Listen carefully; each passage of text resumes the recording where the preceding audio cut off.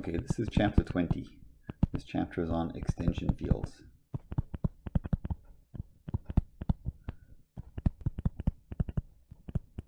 And just a quick note about this chapter, it's fairly lengthy if you involve or sort of look at all the proofs in it. So I'm going to sort of go through it without most of the proofs. A lot of them are, they're, they're all in the notes, so feel free to look there. Um, I'll make some comments about, maybe try and get some insights with examples about why the proofs are true. But, and, and I definitely talk about what the, the ramifications are there in field theory, but I don't want to spend too much time going through every single detail because I think it's sort of maybe better spent just looking through notes to read, but um, in any case, I will do at least one proof, maybe more, but we'll see as we go. So the idea of an extension field or a field extension is that um, that if we have a field f that's contained inside another field e, that things may happen in, in e of x, the larger polynomial ring, that don't happen in the smaller one, right? So the idea is this. This is general. We're gonna we're gonna sort of iron it all out and do some examples. So we'll say if a field f is contained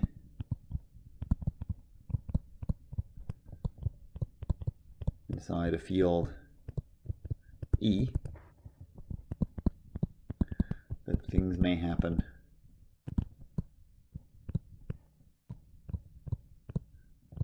in E adjoined X, which cannot happen in F adjoined X.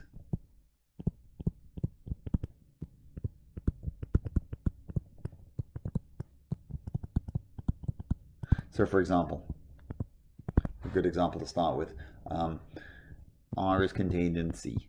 The real numbers are contained in the complex numbers. The polynomial p of x, which is x squared plus 4,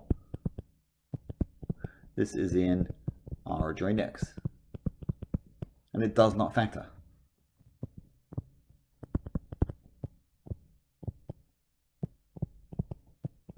You know, in any meaningful way, like you know, 1 times x squared plus 4 is not meaningful. But if you go up and say, however, if we look in uh, C adjoint X, it does.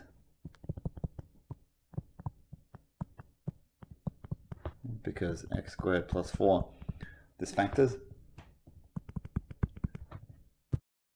into uh, x minus 2i and x plus 2i. So everything's good. So we, what we want to do is sort of look at this sort of idea a little bit. So I'm going to break this up into a bunch of chunks that I think make sense. So I'm going to call this uh, an extension field.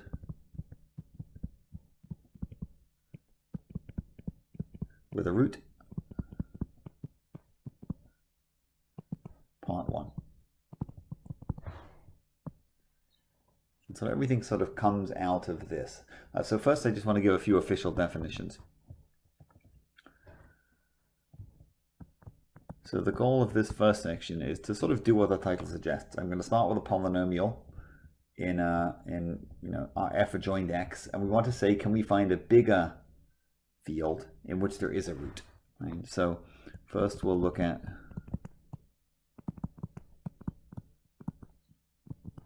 f contained in E. So whenever I write f and E in this chapter, they're always fields. So this is f is the field, f is the bigger field.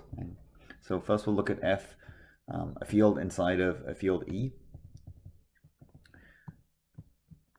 And a polynomial p of x, which is uh, irreducible over f, and whether it can have a root in E. Or maybe a, be a better way of looking at it is to whether E can be chosen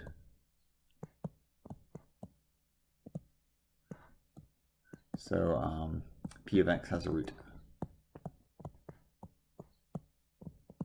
So example is like the one we just had, um, that x squared plus 4, this is in R adjoined x. This has no root. In other words, it has no roots in R. Right, but R is contained in C, and it has roots in C. I'll just say has a root in C for now. So the question is, can we do this in general? So first, we need some official definitions because I'm using the term extension field and I haven't really nailed down exactly what this means. So, and I want to be clear about one specific aspect. So we'll say a field E is an extension field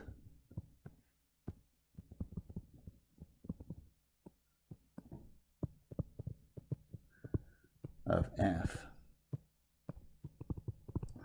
Basically, if F is contained in E, and we have this other requirement, and the operations in F are those of E, restricted to F.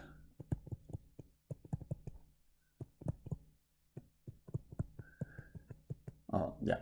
So um, the reason for this last comment is that we, we want to disallow certain things like, like for example, uh, disallow or prohibit um, Z7 is contained in R. It is absolutely true that Z7 and, and R are both fields. Right? Both of these guys, this is a field, this is a field. So it's a subset, absolutely. And so we have to sort of say like, well, like, is it a subfield? And the answer is, well, not really, because the operations in Z7 are, you know, addition, or let's say, are done mod 7. So here the operations are mod 7. And here they're just regular operation. In other words, not mod 7. So in a situation like this, I don't want this to be considered, I wouldn't want to consider R to be an extension field of Z7. So that's gone. So third note, or third thing before we give the big theorem, is the term extension field is used somewhat liberally. So what I mean by that is the following. Uh, the term extension field this is used even when um, F is not necessarily a subset of E, but F is isomorphic to, uh, let's say, a subring of E. Let me give you an example to clarify that. So for example, consider say the fields are real numbers and r adjoined x mod x squared plus 1. So just a reference, this is um, historical point, but just so that you remember, this guy is a field. So you may want to remind yourself why. I'm not going to dwell into that. Um, but the point is that things in R are real numbers things in Rx mod, the ideal generated by x squared plus 1, are not real numbers, right? So things in, let's say, elements in this guy over here,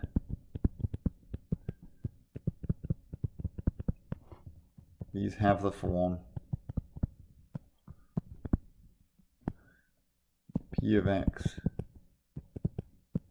plus the coset x squared plus 1. So things in R are not in there.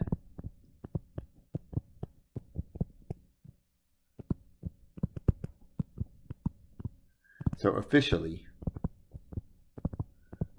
or even unofficially, really, like it's not a subset, right? R is absolutely not a subset of R adjoined X mod that ideal.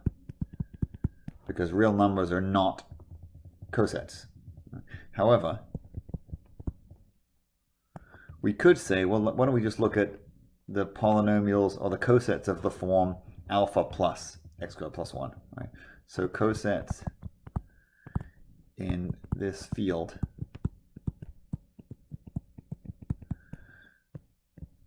Let's say which have the form uh, let's say alpha plus the coset let's make this a set with alpha and r. These behave like the real numbers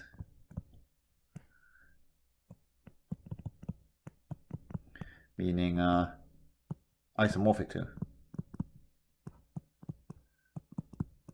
So in this sense, we would say that um, that R join X, uh, X squared plus one, is an extension field.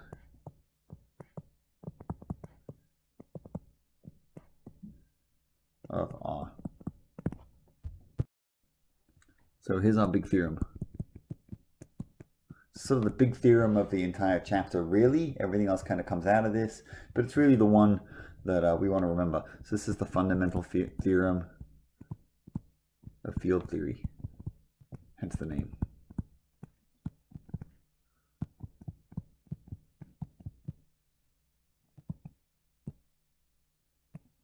So it says the following. It says let f be a field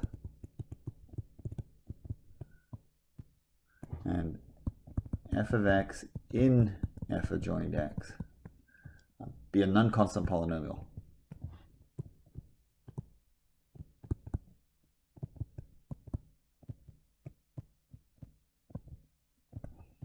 Then basically there is an extension field of E in which the polynomial has a root.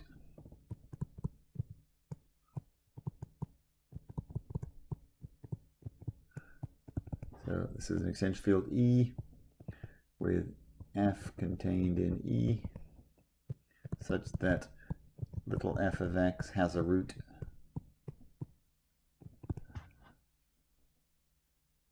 in E. So basically you can always grow the, the base field, if you like, to pick up a root for the polynomial.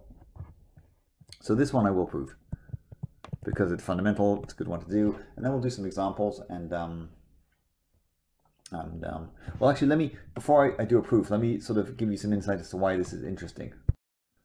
So in certain cases, this may be obvious. For example, um,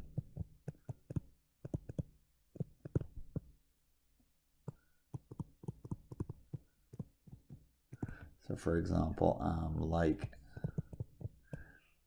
well, like this one from before, like x squared plus 4 is contained in Rx. And we can grow, we can get a bigger field from R. Right, R is contained in C. And x squared plus 4 has a root in C. So you might say like, when could I not do this, right? So look at a sort of a much simpler example or much more complicated example, much different.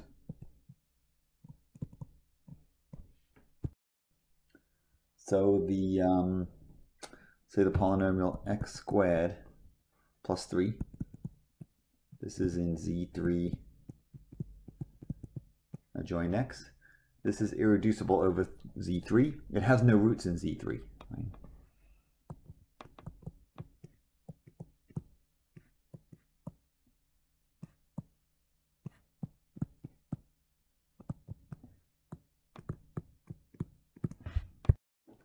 This of course is easy to check. Like the, the only roots could be 0, 1, or 2. Those are the only numbers. And if you try, you plug in 0, you get 3. Um, that makes me realize, hold on, I did this wrong. I missed, I put the wrong polynomial down. X plus 1. So uh, if you plug in 0, you get 1. If you plug in 1, you get 2. And if you plug in 2, you get 5, which is the same as 2. And so I have no roots, right? So then, you know, say like, well, can I can I get a bigger field in which there's a root? But it's not even clear what a bigger field looks like, right? So is there a field uh, E with Z3 contained in E and with a root in E. So you can't use, for example, C, like it's not an extension field. Because Z3 is not contained in C as an extension field.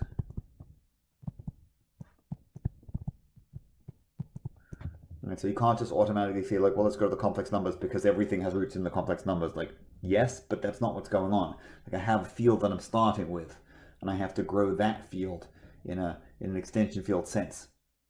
So the theorem says that we can do it anyway. In other words, it says that the answer to this question that we're posing down here is uh, is yes. All right, that's what the theorem's saying. So let's prove the theorem. So here's the proof. So first of all, since f is a field, we know that f adjoint x is a unique factorization domain. This we proved in a previous chapter.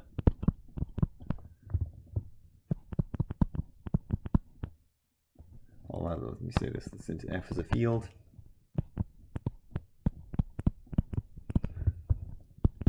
f adjoint x is a unique factorization domain. Now, if that theorem, if you don't remember it, or you don't exactly remember what a unique factorization domain is, doesn't really matter for now, um, other than you accept that we can factor f into a product of polynomials such that one of them is irreducible. So what we'll do is we'll write f of x as we'll say um, p of x, q of x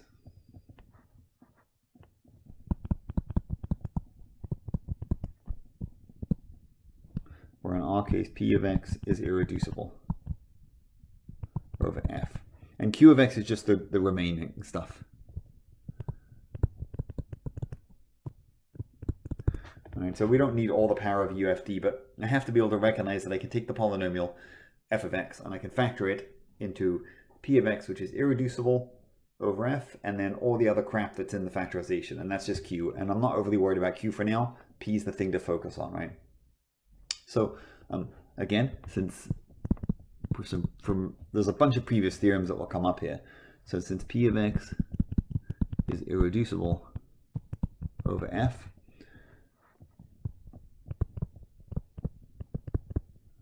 we know that f adjoint x mod the ideal generated by p of x is a field. Now, the comment I made earlier about how we'll say that a field is a field extension of another field if there's sort of an isomorphism going on here this applies right so we'll say that um, we'll say comma and is a field extension of f in the sense that so I'll be sort of a little formal here but we don't need to be like f is just the collection of things in F. This is a little goofy, but that's right. And this is isomorphic to the set of cosets that have the form alpha plus px, where alpha is in F. And this thing is like really officially a subfield and a subset of F adjoined X mod uh, ideal generated P of X. So in, in this sense, we, we treat F as a subfield of F adjoined X mod the ideal generated by P of X, or the other way around, that F adjoined X mod the ideal generated by P of X is an extension field of F. Right? So we have an extension field. So all we need to do is prove our claim that we claim that little f of x has a root in this new field, in this extension field.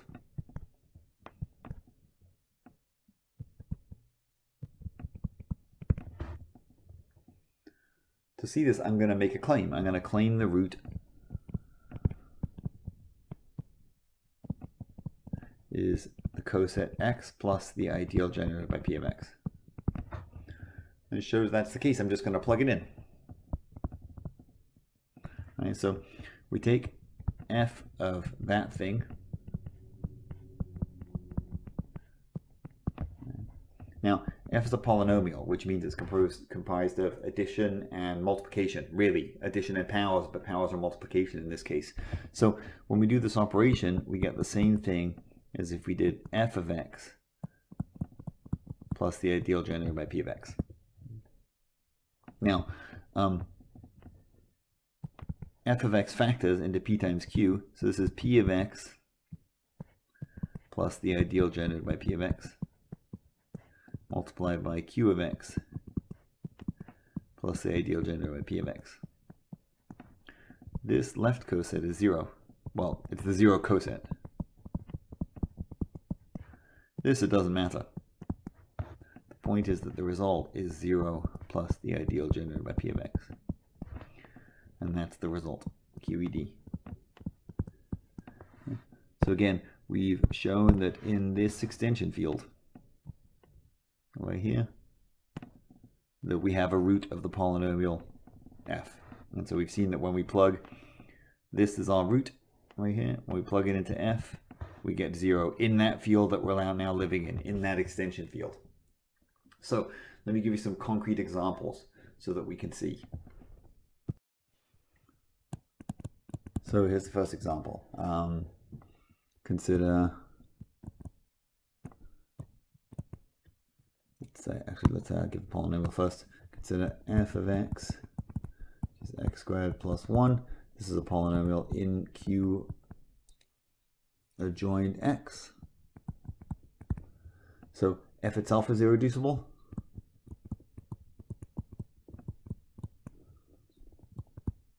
Over Q, we can move immediately to an extension field.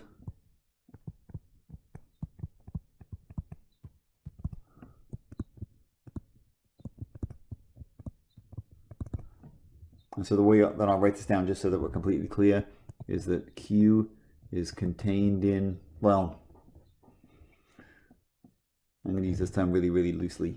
Let me be, let me, let me do this because I don't want to say, I don't want to, I want to make sure that what I'm writing is clear.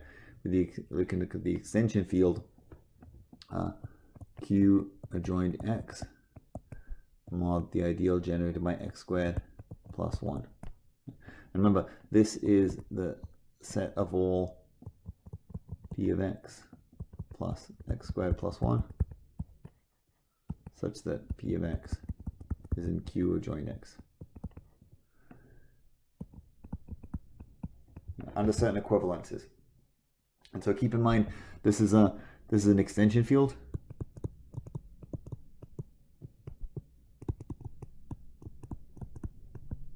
Of q in the sense that Q, this is sort of a, a, rewrite of what I wrote here on the left, but just so we have a concrete idea, that Q is the set of rationals. And this is the same as the set of cosets that look like this, the same as being meaning isomorphic to. And this is a subfield. This is why I wanted to use the subset symbol, but carefully. And in this extension field,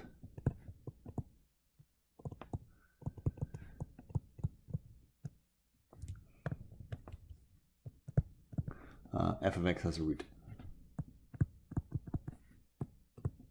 Let's say has the root x plus the ideal generated by x squared plus 1. And again, we can check this if we want, because if we take f of that we start to see why this is sort of actually fairly interestingly obvious, right? This is the same as f of x plus x squared plus 1, which is just x squared plus 1 plus the ideal generated by x squared plus 1, which is 0 plus the ideal generated by x squared plus 1. Which makes you sort of realize that, like, well, clearly I can do this process every time as long as the polynomial you know, if the polynomial is irreducible, then when I do this, I get a field, and that's the thing, right? So keep in mind, it's important to keep in mind that this new thing that we've built before, now I'm saying it's an extension field, but really appreciate that this thing is a field. It's an honest to goodness field. Let me do a couple more examples. So second example is uh, consider f of x is x to the fourth plus 8x squared plus 15, also in Q adjoin x. So um, f of x, this f of x is actually reducible, it reduces. Right, this is equal to x squared plus 3, x squared plus 5. Each of those is irreducible over Q. So in this case, there are two different extension fields.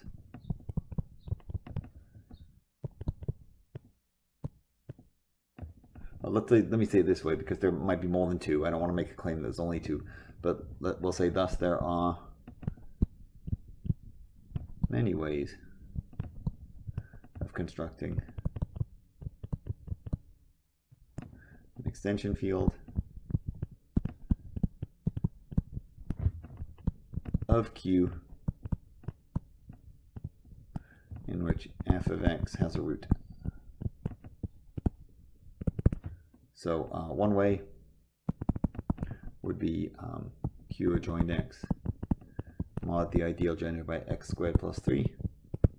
And another way would be q adjoined x mod the ideal generated by x squared plus 5. Those are different ways. And the last example, I want to do one that's not q, that's like, like a nice finite field. So consider f of x will be let's say um, x cubed plus, actually let me do a slightly, let me do one that's more like the previous one just because it's more interesting.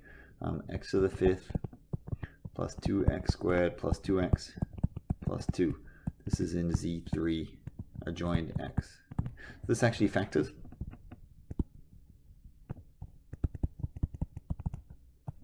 Factors into x squared plus 1 times x cubed plus 2x plus 2. And each is irreducible. This may not be screamingly obvious, that's okay. Over z3, it's a fact, right? So again, there are many ways we can construct an extension field, right? So uh, we have, let me phrase this differently, we have roots in these two extension fields.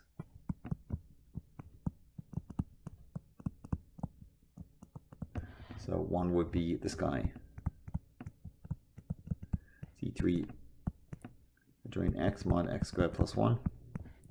And uh, Z3 adjoined x mod the ideal generated by x cubed plus 2x plus 3. Now, fun fact. Um, Z3 itself, right? Because we're looking at an extension field of Z3, so it's always good to keep a to keep a scale on things, right? So when we when we say extension field, we mean extension field of Z3 this guy, right? This has elements. We've done these problems before. This thing has elements that look like this.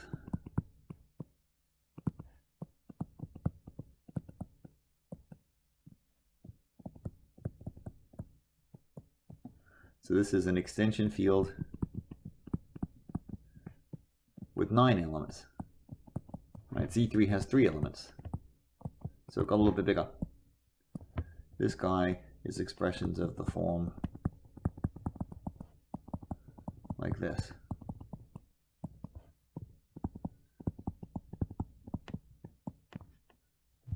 So this is an extension field with 27 elements. So neither of these is particularly big, right? These are really small fields.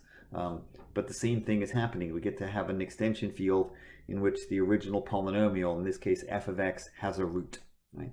So keep this in mind. We can always grow this out. We can always grow the originating field so that the polynomial over that field has a has a root in the bigger field. So three, I'm going to call this um, an extension field with a root part two.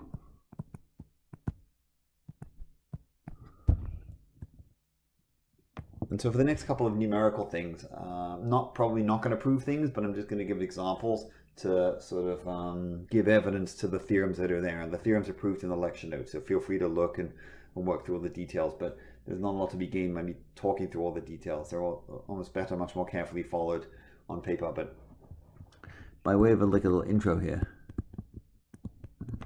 So I just want to reflect back upon what we saw in number two. Right? So the fundamental theorem of field theory states that, just to recap really, really briefly, we can always extend a field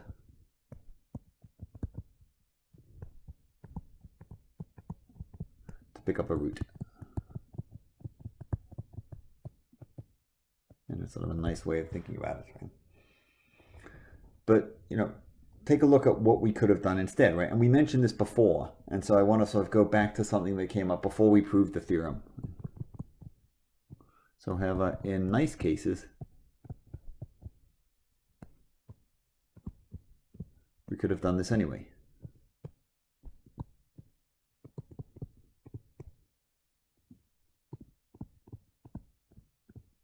Let me sort of explain what I mean. Right, so like the example was x squared plus 1 in Q adjoined X. So fundamental theorem of field theory says I just go to this bigger extension field. And that does the job. But why not just go to Q adjoined I? All right, like this is a subfield of the complex numbers. I mean, like in this, you know, in here, we could say that x squared plus 1 has a root in here.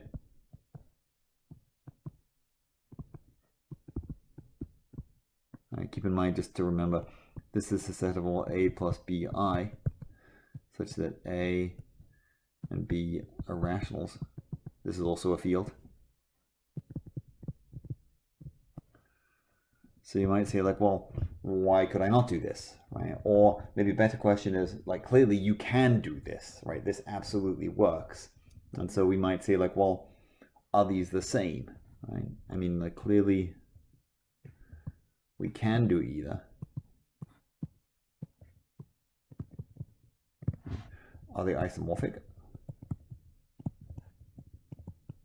Like they're clearly different, right? One is a set of cosets, the other is a bunch of complex numbers. So um, formally they're different things, but perhaps they're the same uh, isomorphically. So it turns out this is the case. Before I prove this though, I want to give a little bit more notation and then we'll then I'll give the theorem then I'll give one more example. So first I just want to give a, a sort of a definition. And so I'll give this definition and I'll uh, explain why we have it. So we'll say suppose that um, E is an extension field of F and I have a bunch of things in E. So what we're going to do is we're going to define say um, F parentheses A1 up to AN. So this is going to be the smallest subfield of E.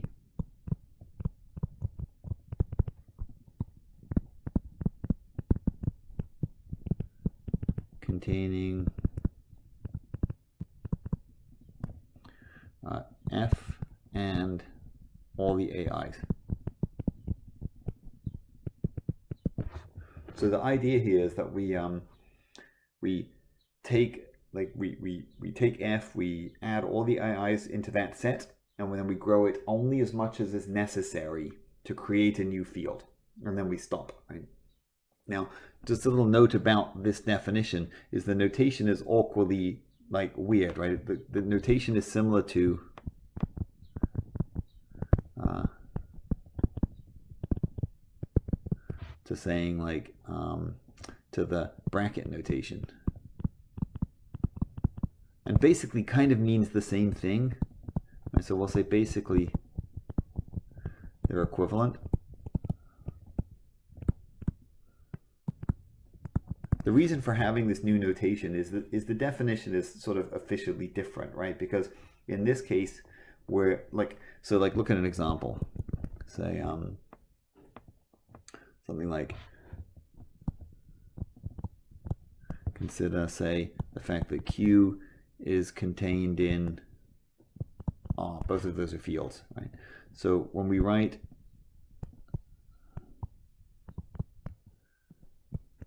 q parentheses the square root of 2, right? When we write this, we mean the smallest subfield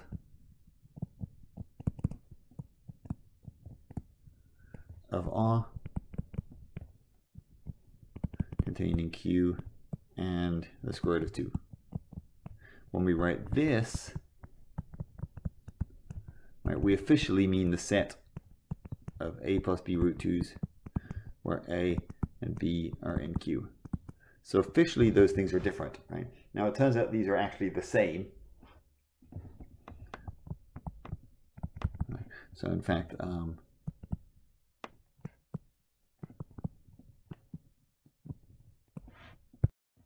in this case, this is because q adjoined root 2 is clearly contained in this because you know if you're if you're if you're going to be a field containing q and the square root of t square root of 2 or rather let me rephrase that. That elements of the form a plus b root t root 2 are clearly going to be in the field containing q and containing the square root of 2 and because it's contained within it right we can just say that they're equal right? Right this is because um, we can say and since q root 2 is a field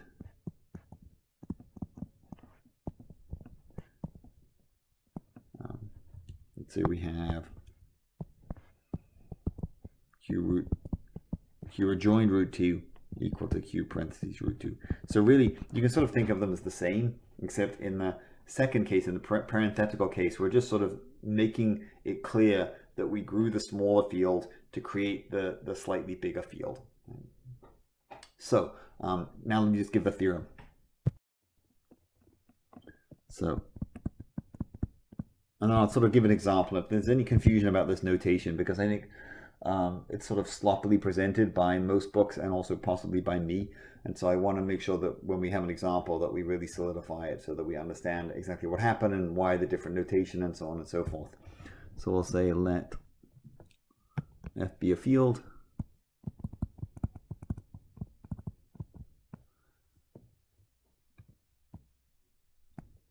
And f of x in f adjoined x be irreducible. So we're going to stick with irreducibles in this over f.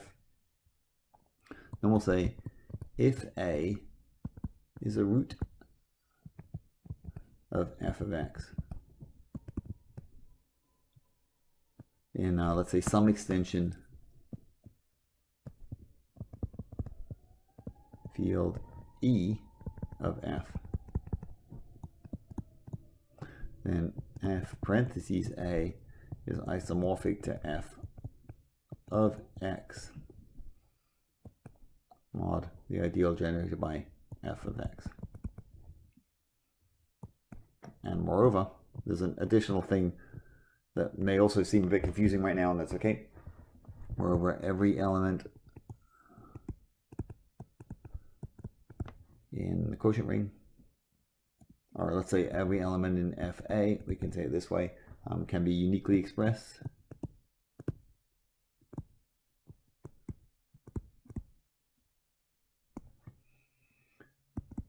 in the form Cn minus 1, uh, a to the n minus 1 plus down to C1a plus C0 with, this is with the CI's being in F. Now, this proof I'm going to omit. It's not hard, really, um, but check the notes if you're interested.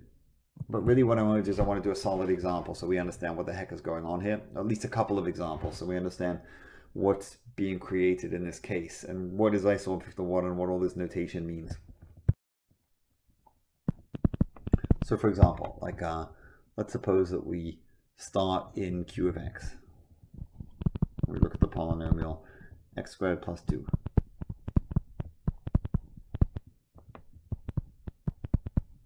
Now, we know that there is a larger field Q, that a, larger field that Q is contained in. We know that Q is contained in C, and we know that there is a root in C.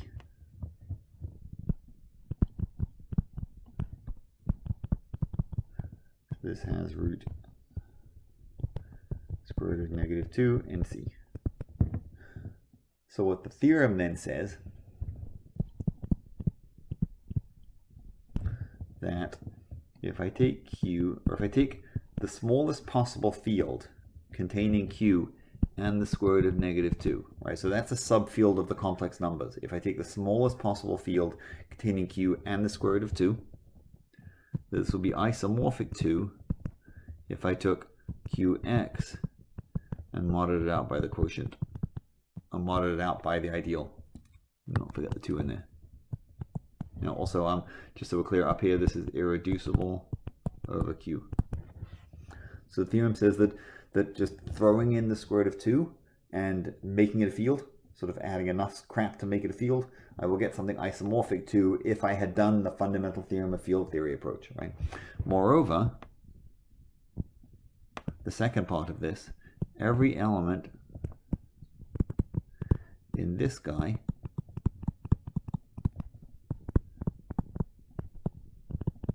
So the degree of our polynomial is x squared, right? So I, I was a bit sloppy over here in the theorem. Um, this n, this is where n is the degree of f.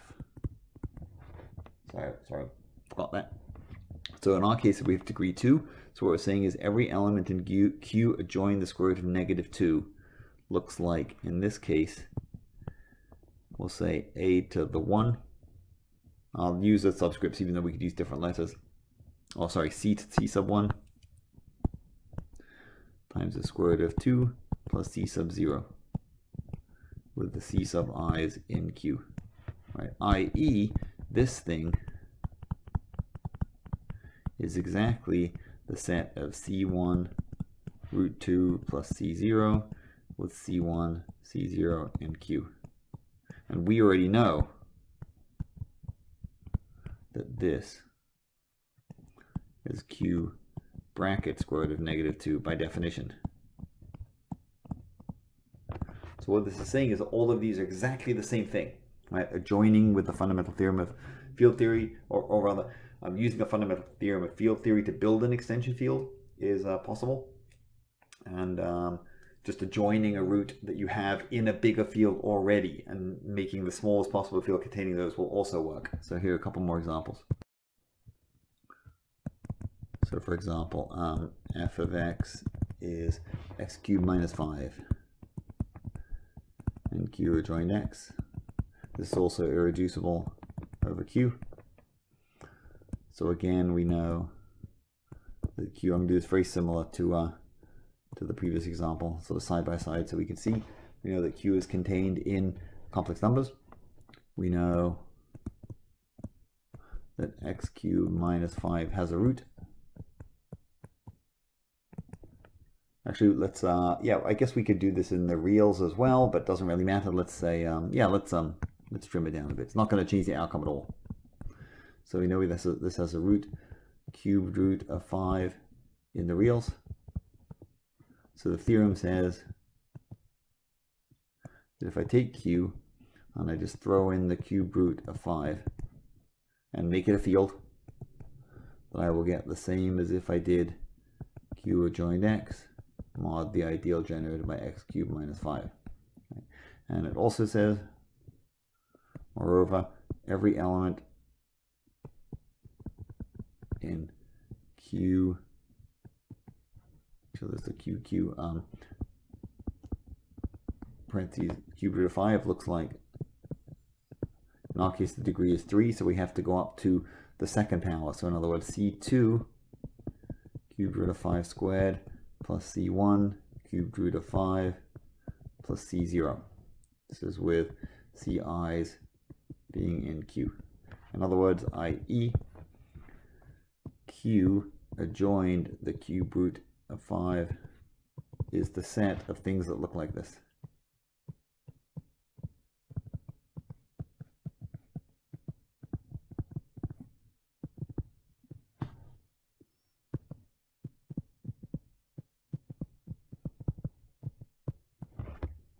And that would be the same as modding out by the ideal generated by that.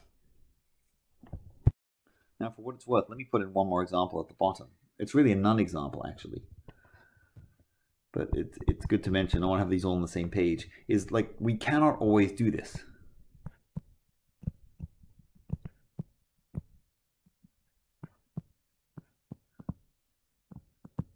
So to think about why is think about what we did in each of these cases, right? So in the first case, we had this statement, right? We have the fact that our field Q is a subfield of C already, and over here on the right hand side, Q is a subfield of R. So, and in that bigger field, there's, there's a root. And so it could be that we cannot do that, right? Like, um, right, to, to apply the theorem,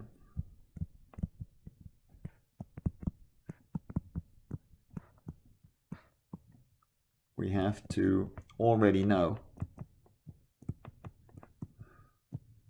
about a bigger field, or let's be official, about a field extension. Well, yeah,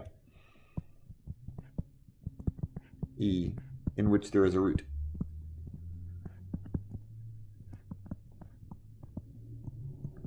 Right, without that, we can't do anything, right? For example, um, say f of x, if I tried this process, in the case like um, x to the fifth plus 2x squared plus 2x plus 2.